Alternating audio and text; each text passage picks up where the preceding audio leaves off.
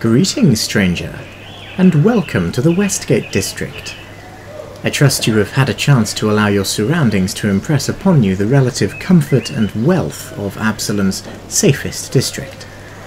The Western Council, convened by its nomarch, Lady Celine of House de Mac, runs a tight ship here, you could say. In fact, I'd wager that some of its guards bemoan that the district is almost too low on crime. I mean, take a look at their faces, and you'll see the endless hours of nothing but clean streets and friendly locals eroding their features like water on rock. Ah, but don't worry about them, because I'm about to show you that there is still plenty of intrigue and spectacle to be found in Absalom's sleepy residential areas. I have acquired another carriage. Now, believe me, it is necessary now more than ever. Westgate may be one of the narrower districts, but it is over three miles long, so to complete a tour in any reasonable length of time, a mount is our only option. The route we'll be taking is quite straightforward, northwards, towards the elite Ivy District. There are some lefts and rights here and there, but in general it is a straight line, for the most part gently uphill as we get farther and farther away from the shoreline and the docks. You should know that Westgate is dominated by middle class houses, chiefly occupied by merchants, uh, artisans, or lesser nobility, perhaps. As a general rule, the closer to the city walls, or the closer to the Ivy District you are, the more impressive the buildings become. This means that we are now actually in a relatively poor area of Westgate, but even Statue Street is easy on the eyes, no? Uh, the district borders the foreign quarter to the east, so you will find the majority of trades and services available over there. Uh, for this reason, I'll try to meander gradually eastwards as we go uptown, but don't worry, the Sallyport itself is definitely on our route. Uh, before we set off, permit me to whet your palate for touring by telling you a dark bit of history in Westgate, although many of the locals around here might contest my choice of adjective. Did you find the time to admire the statues that surround us? Well, they give the street its name, of course, and they are all just so perfect, even down to the last detail. Now, the obvious question is, what are they all fleeing from? And then, why towards the puddles? Don't they know what manner of nasty fate awaits them there? Well, in truth, these poor souls did not have much choice. Why, yes, indeed. Every single statue here was a living, breathing person once, before they were petrified by the breath of a gorgon. Uh, you see, about 700 years ago, the person in charge of the local Office of Prisons was a rather eccentric wizard called Valtias the Redeemer, and he had a problem. Westgate's cells were overflowing but this being a district where crime is caught swiftly and justice dispensed mercilessly, uh, with the majority of offenders not dangerous to the population. So, thought Valtias, what if we were to allow most of the non-violent criminals to go free? Well, this was almost a good idea until, being an eccentric wizard, the bureaucrat decided to let loose a gorgon that he had to hand also, and turn the whole thing into a spectacular game for Westgaters. The prisoners and the Gorgon were both unleashed onto a street close to the puddles, and anyone who survived, or otherwise escaped the ordeal, had their sentence waived. Those who didn't contributed themselves to their audience's sudden and zealous interest in statue collecting for their homes and gardens. Other statues were left here to line the street, which quickly became overwhelmed as the annual Charge of the Gorgon exploded in popularity. Over the years, though, the rest of Absalom came to view the Westgaters' unique approach to justice with increasing weariness, which evolved into outright hostility. And then, in 4714, the inevitable happened as the Gorgon got loose and petrified a good number of Westgaters, as well as the prisoners and this finally generated enough momentum for the district council to ban the practice entirely. In recent years, though, a local movement to bring back the bull has gained an impressive amount of momentum and posters, leaflets, and tavern songs all urge their fellow Westgaters to pressure the council to reverse this decision. Regular demonstrations take place now by the Sallyport and Mithral Hall, uh, many of them led by up and coming politicians from poorer Westgate neighbourhoods who feel that a regenerated charge of the Gorgon might alleviate what little crime does take place here. Oh, and I can see you wondering why many of these remaining statues are headless.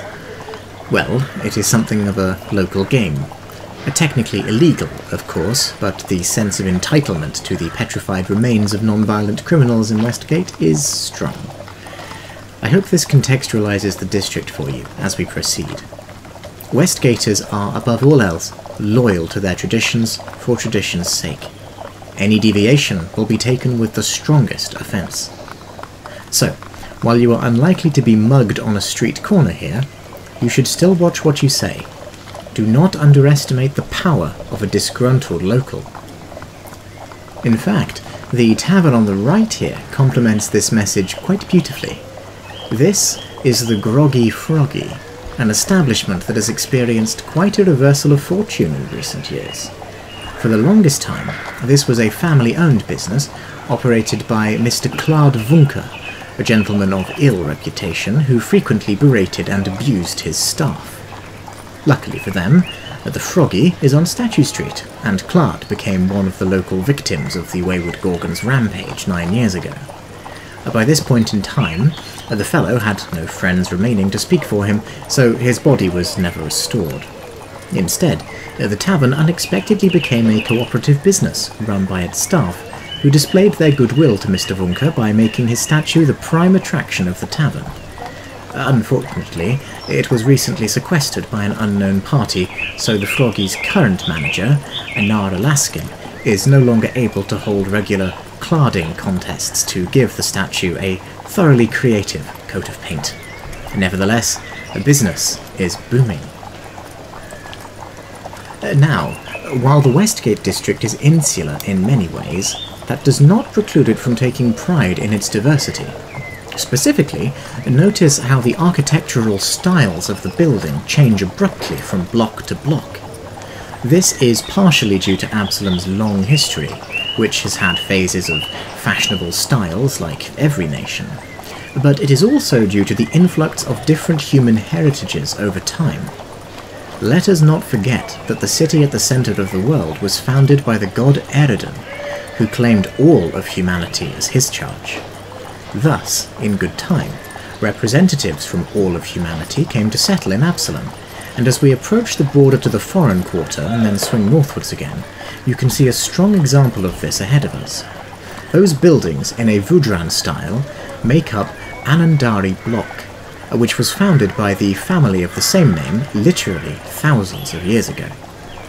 The descendants of Adashra and Bimasla Anandari can trace their genealogies back further than most other families here. They made their money by capitalizing on the locals' veritable obsession with all things Vudran at the time, from buildings to food. Today, Anandari Block is populated mostly by humans of Vudrani descent, and all Westgaters take pride in the significance of the block being contained within their district. Uh, now, it may not surprise you that gossip is a powerful force here in Westgate. So, as we cross through this commercial side of town, be sure to observe the rather flamboyant building there, sandwiched between the bakery and the carpenters. That is the Sianovel Agency, a private detective's office that has outperformed all expectations. Its proprietor is Erdan Sianovel, who became bored with bookkeeping at the Foreign Coin Exchange and struck out on his own, solving crimes that are not particularly well suited to adventuring parties. Oh no no, please don't give me that look, I meant no offence. Erdan simply enjoys sifting through truly dizzying amounts of paperwork to detect even the slightest inconsistency. He is much less enthusiastic in chasing down bandits in the dead of night, so the agency is unlikely to step on your toes. Indeed, if you are looking for work in this area, this might be a good place to begin. The agency is always looking to contract out the more um, hazardous elements of private investigation, wherein books are swapped for blades. Perhaps you should liaise with him when you find the time. well, if on the other hand you are looking to show Mr. Sianovel how real paperwork is handled, then I would instead advise you to seek employment from this building, passing us on our left. This is Mithral Hall, one of the best kept administrative centres in all Absalom. Its honeycomb design is hard to appreciate from ground level, but a quick glance at any map will quickly reveal the insanity of whoever designed the place. Apparently, the architect became obsessed with honeybees and their undying efficiency in using the limited space of their hives. So they concluded that, uh, just like worker bees patrol their honeycombs, so should district councillors patrol their headquarters. Thus was Mithral Hall committed to the district. In practice, though, as you could imagine, navigating the place is a nightmare, even for a meticulous bureaucrat. So if you are seeking an audience with the Nomarch, I recommend catching her out of hours, or at least at some other venue. Incidentally, out of hours for Mithral Hall typically means well before sunset because the building maintains quite short hours of operation, much to the frustration of local labourers who complain that this makes it nigh impossible for them to take time off work to make their voices heard. On the crossroads down there to the east uh, lies the Westgate Bathhouse, one of the oldest and best in Absalom. It is easy to spot due to its domed roof and small marketplace that pops up outside its doors every day, as opportunistic merchants accost people visiting the saunas and pools inside. Public and private bathhouses are quite common in this city, but nothing really matches the grandeur of Westgate's, in my opinion. Prices vary from cheap, unheated communal soaks to luxurious private saunas that put most spas to shame. It could be a good place to unwind after the tour, if your back gets stiff from the carriage. Remember to ask for a map though, because the layout of a building as old as the bathhouse is always dungeon-like. Then, after you have soaked, I would suggest you stop by at the restaurant situated on the next set of crossroads after the bathhouse, humbly called To Eat the World. In all my years of world walking, I have never come across another eatery quite like it. To Eat the World has only one item on its menu leftovers. Well, leftovers of what, you ask? That's the customer's gamble. The head chef, Samael Rantore, has staked his reputation on being able to prepare and serve any meal in all Golarion, so long as he is given sufficient notice. Wealthy clients will place a custom, usually unique, order many moons in advance of their table's reservation date, and Sam will hire whoever it takes to acquire the ingredients he requires. And he always requires a lot, and in good quantity. Uh, for the remaining customers are sold the extra portions and leftovers of the dishes he creates. Uh, mounted on the walls of the restaurant are the stuffed heads of the various beasts that have been sacrificed on the orders of his clientele. For Sam does not ask too many questions of how his food is sourced, so long as it is um, ethically done. We're swinging left now to approach the Sallyport, the mighty fortress gate that permits overland travellers entry to Absalom. But on the way, there are still two more things that I would like to bring to your attention. Firstly, note this block ahead of us, with um, sandstone and desert-like architecture defining its structures. This style is derived from ancient Osirion, whose nation continues to supply many of Absalom's camels to this day. At the centre of this particular block lies the Tomb of the Living, whose upper floors are dedicated to burying officials with poor families, unable to afford um, appropriate funeral rites. A few times a year, a procession will troop down this road and into the tomb, carrying the body of a soul who has passed beyond the veil of this material plane. Yet, in the quiet corners of the city, there are those who whisper of a secret second use for the tomb knowledge of whose existence is a lethally enforced secret. But to those of us who pay close attention to the comings and goings of the powerful and the charismatic, a pattern can emerge. An oracle, poised to take the test of the Starstone and judged by all to be able to pass it. A wizard, besides Aroden, who had claimed to unlock the secret of immortality. A nobleman, officially disparaged as a conspiracy theorist and driven out of the city, yet who seemed willing to die to reveal Absalom's darkest secrets. All vanished on the eves of their triumphs, all never seen again. Well, if you were to venture down past the oddly stringent security of this unassuming Osirian tomb in a sleepy residential district, I suspect you might find answers. But take my advice, stranger, and share this information with nobody you would not trust with your life, for that is what you are risking. or am I just spouting nonsense, a mad guide failing to follow his own words? Well, that is for you to decide. The final point of interest before the Sallyport takes up a block by itself. This greenery passing us now is concealing the Westgate Courthouse, which is similarly presented to that of the docks. Unlike that district's chaotic proceedings, however, the Westgate Courthouse is best known for surrounding an ancient reflecting pool filled with only the purest water. By tradition, which is essentially by law here in Westgate, defendants on trial are marched to this pool before proceedings begin, so that they might be compelled to reflect on their decisions and habits. Ah, but I can see you eyeing up what is getting larger before us already.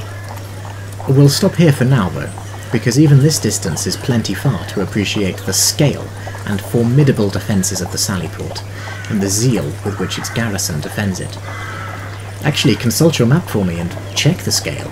This structure is at least 240 feet wide, for that is merely the combined distance of the four drawbridges that can be lowered across its defensive ditch to allow passage.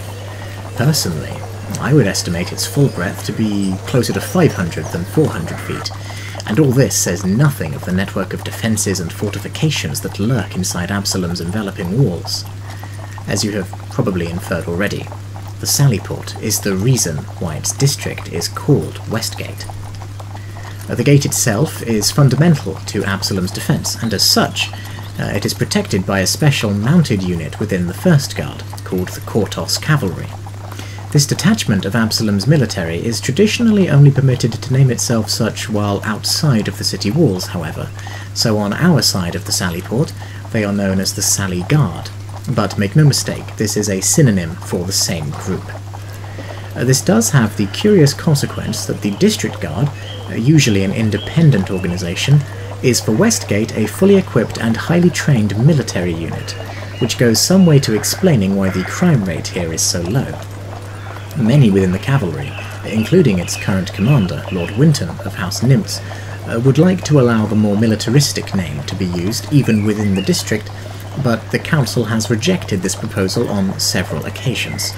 Another reminder that tradition is king here.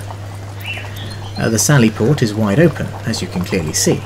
Uh, the throngs of merchant caravans from all over Kortos, though mostly Diobel and Atari, uh, queue for hours just outside the walls while they wait for a chance to be inspected by a member of the cavalry and the Scriveners Guild. While there are many gates into the city, the Sallyport is by far the largest and most frequently targeted during wartime. For this reason, it has been designed to be able to integrate its protectors and mounts alike. Uh, there are no stairways inside, but wide ramps that permit mounted riders access even to the top of the wall. Assaulting the Sallyport is ill-advised with anything less than a specialised and highly prepared task force. Uh, finally, as we begin to move on, you might be wondering why Absalom, famous for its preference for camels and other unusual mounts, continues to field a horse-based military unit, and one that frequently sorties into centaur territory at that. Well, to be quite frank with you, I am not actually sure that I have an immediate clear answer. I would speculate that um, horses are more familiar to the majority of the knights if they have a military background, and that horses make more versatile mounts across rolling plains and hills than camels do. Perhaps, though, this is simply another example of that famous Westgate stubbornness, or the churlishness of Absalom towards those who also call Kortos and Erin, its sister isle, home. Whatever the reason might be, I do know that relations between the centaur population and the Kortos cavalry have deteriorated recently, uh, particularly since the appearance of that blasted wasteland called Tyrant's Grasp just outside the city. I have no doubt that the dark powers coalesced there do nothing to alleviate tensions, but I nevertheless would propose that the tensions only exist in the first place because the Kortos cavalry refuses to switch mounts to something less offensive to centaurs. But there you have it. Uh, let us retrace our route a little and continue northwards again. You might notice that uh, the district becomes more spacious during these final visits, with green spaces flourishing closer to the Ivy District. Incidentally, um, these do not compare to the vast tracts of Druid-maintained land in the Eastgate district, which is something of a sore point for most locals. However, coming up on our left is a building that is almost too unassuming. The quintessential dilapidation and the lack of signage or presentation in an area as well maintained as this is perhaps something of a giveaway. This structure houses the Guild of Wonders, an assassination group reviled throughout the Inner Sea and beyond. Uh, do not worry, this is not a particularly well kept secret, although the guild does pretend to function as a taxidermy emporium to those who are somehow unaware. Behind this rather thin veil, though, uh, lies the respected entrepreneurship of Scion Lord Kiledo of House Marilla and his nibblings, the Guild of Wonders will take a contract out on almost anyone for the right price, and will even insure your life against a violent death by guaranteeing posthumous revenge against any who would inflict one upon you. There are a few important restrictions, though, that um, ensure the safety of its day to day operations. Firstly, the Guild does not accept contracts that must be carried out on Absalomian soil, for that would be too close to home. Secondly, the guild will kill neither Taldan nobility, uh, due to the guildmaster's heritage, nor children, on principle. And thirdly, uh, priests of Calistria, Abadar, and Asmodeus are all safe from its assassin's blades. Precisely why these three churches alone are sheltered from the guild is a matter of some debate here, uh, but its rules are never waived, with one notable exception. If you have purchased a Death Pact, as their unique demise-avenging scheme is called, then the one responsible for your murder will be killed at all costs. However, the one subsequently responsible for carrying out the revenge on your behalf will then be banished from the guild, and likely to be hunted down themselves, by necessity. The Guild of Wonders' presence within Westgate is quite controversial. Most locals consider it a barbaric or at least distasteful institution, and would rather see the whole building torn down and House Marilla's operations relocated to somewhere more fitting to its business practices.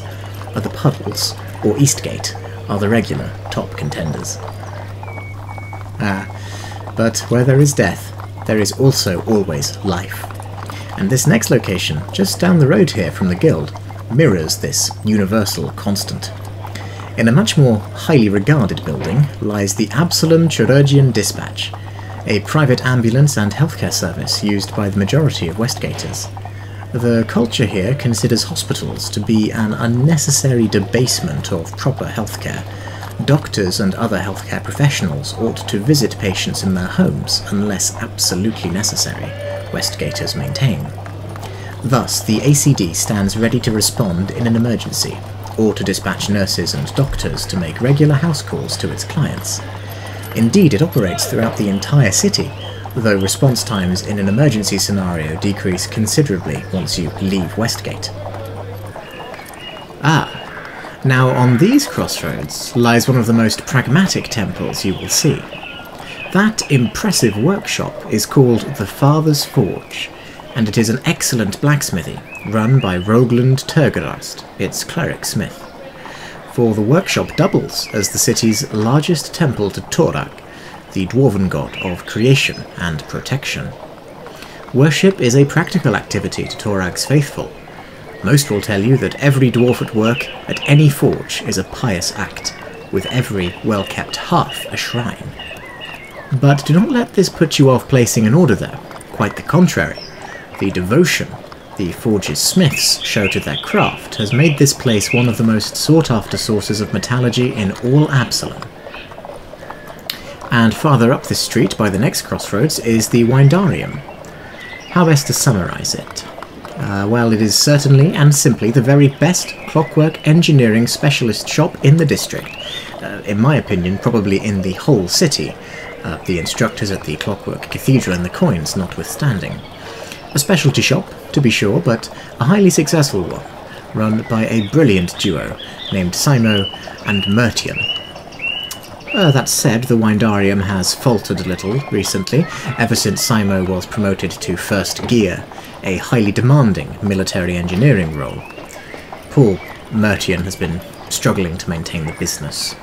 Apparently, Mertian's true passion lies in the rearing of badgers, so the Windarium is currently occupied by half a dozen of the charming beasts. I should contextualise for you that badgers are an extremely common pet to keep in Absalom, even more popular than the cats and dogs that dominate much of household animal life in other places. They are efficient rodent killers, but unlikely to destroy stored food, and also happen to be truly adorable mustelidae, so in short, they are perfect for the city. Indeed, it is actually illegal to harm badgers here, so wild sets need to be relocated with the utmost professionalism. Um, a shop called the Fierce Stripe here in Westgate uh, offers these services for private homes and for businesses, so it is not too uncommon to encounter a badger comfortably resting in a shop window. However, all this to say, the intrusion of so many badgers to the Windarium may become a problem in the near future if they are not handled delicately, so enjoy the clockwork while you can.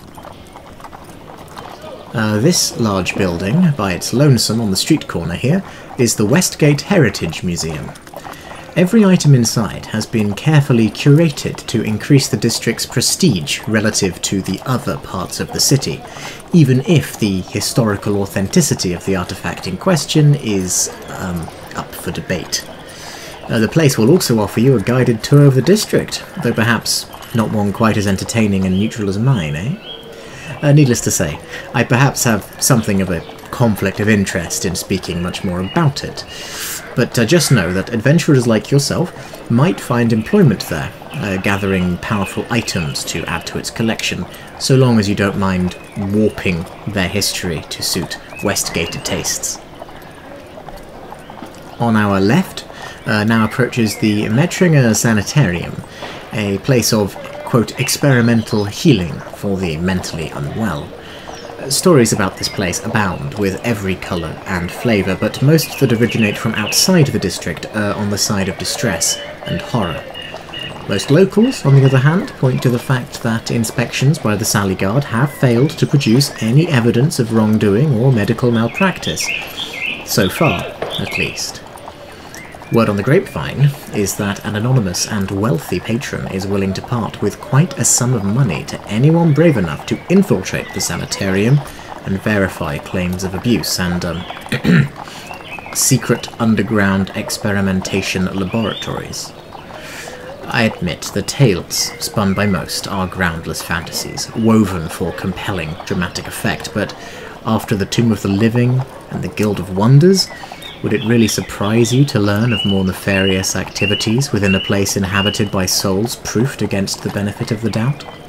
Perhaps you should investigate for yourself and find out. Sorry, it has become such a lovely day again, and here I am, raving about asylums. Let's readjust. Uh, ah, cast your eyes to the wall, all the way over to the west there, and try to spot the tops of three pyramids. Those mark the grounds of Menhemes Manor, a museum and ground space dedicated to the history and culture of Osirion, the ancient and quite brilliant desert land to the south of Kortos.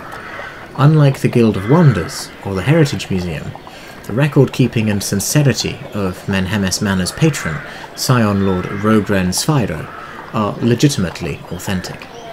Recall that the city at the centre of the world is almost 5,000 years old, and in all that time, Osirion can claim perhaps to have held the most influence over its development, though I think Cheliax may be able to contest this.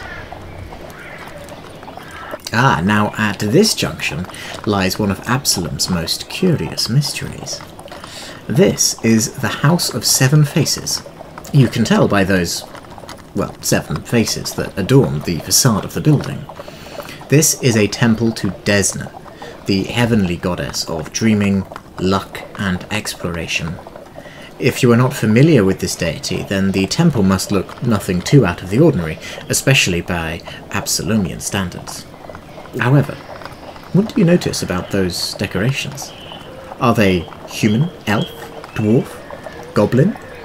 No one can seem to agree, because they seem to become a unique face at every angle. Moreover, why does their material look old, even ancient, while the temple itself is no older than a few centuries? And finally, here is the 100,000 platinum question. How could they appear overnight just after the temple was first opened? Well, answers to these, if they can be found, will surely also lead you to discover what the Seven Faces are meant to represent, which is also a source of much disagreement by all.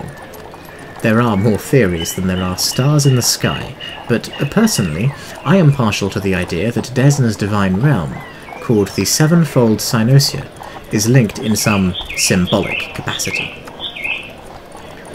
As we approach the Ivy District, now just at the end of this road here, I invite you to reflect on the dual nature of Westgate. Yes, it is safe and quaint, and mostly a quiet place of residence and trade. Yet I find so much lurking here, just beneath the surface. I suspect that, to the politically engaged explorer who does not mind meddling in the affairs of the mighty, Westgate can hold more than a few dangerous traps. If you ever do find yourself in danger, and cannot rely on the Sally Guard for help, then I advise you to hammer on the doors of this final point of interest on our left, Sirola Manor. You are likely to be greeted by Venla and Unmas Sirola, one of the district's most powerful couples. Unmas is the chief physician of the Absalom Chirurgeon Dispatch and a quite brilliant surgeon alchemist, while Venla has attained the status of a once-in-a-generation politician with local Westgaters on account of her conservative disposition and passion for magical artifacts. She is also a retired member of the Pathfinder Society, one of the most influential and powerful organisations across Golarion, based in the Foreign Quarter here in Absalom. Do not worry, I see that burning curiosity. We will discuss the Society at some length when the tour reaches their headquarters. But in the meantime, while it would be a risk to bang on her door if a mob of angry Westgaters were chasing you, I suspect she would seize the opportunity to advance her own and her district's position if you were instead to bring to light some senior treachery or malice based in another district that you brought to her. Why, she even has a seat on the Low Council, which should tell you how deep her influence runs. Ah, but you are surely just a humble tourist, unlikely to cause any trouble. So rejoice, because we have now reached the Ivy District, the centre of the arts in the entire Inner Sea. Theatres, tea houses, tailors, and tastes all await you within its borders. While it is by far the smallest of the city's districts, it is also the densest for places to visit and note. Just remember that danger here stems from what you say, not from where you go, and you'll be just fine. So, I recommend you make yourself at home, and meet me back here in a couple of hours. There is some more immediate business I must take care of before I can resume my tour. Well, until then.